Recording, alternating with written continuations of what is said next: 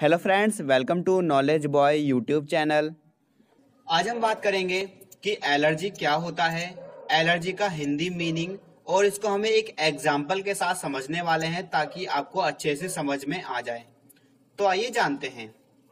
तो allergy allergy का मतलब है तीव्र प्रतिक्रिया, यानी तीव्र ग्राहिता, किसी चीज़ से चिड़ होना, या किसी भी चीज़ को खाने, या उसके पास जाने से कोई भी परेशानी होना एलर्जी होता है।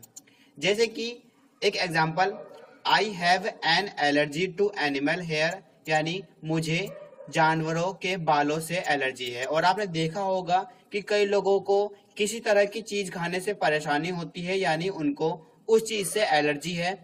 उन लोगों को उन चीज़ों से दूर रहना चाहिए जिनसे उनको एलर्जी होती है। वीडियो पसंद आए वीडियो को लाइक करें, चैनल को सब्सक्राइब करें।